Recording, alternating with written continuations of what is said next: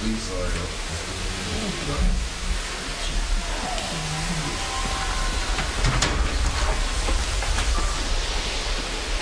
the hell do you think you are?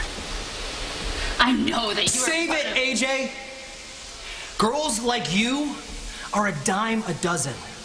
You came from nothing, and you are nothing. You see, you've been so alone your entire life that when someone pays you a little attention, you glom onto them and make them your entire world. And where does that leave you? Huh? Where does that leave you? At the end of the day, you're back all by yourself, all alone. Desperate. Pathetic. And every time someone disappoints you, you lose a piece of your pride.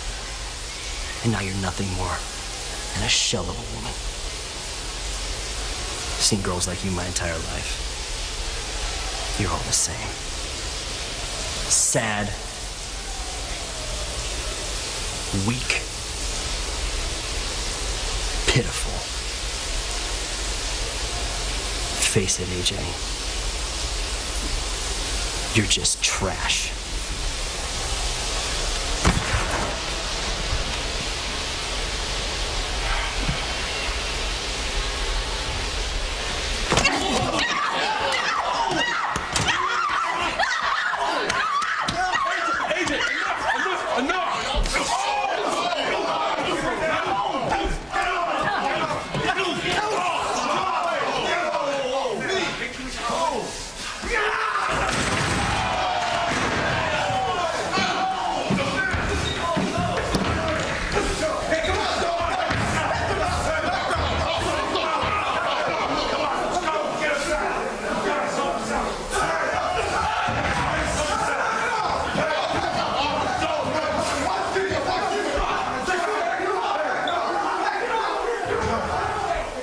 Okay, Cena.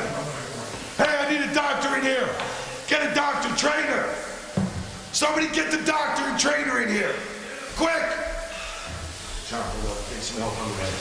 Doc's on his way. Just keep breathing.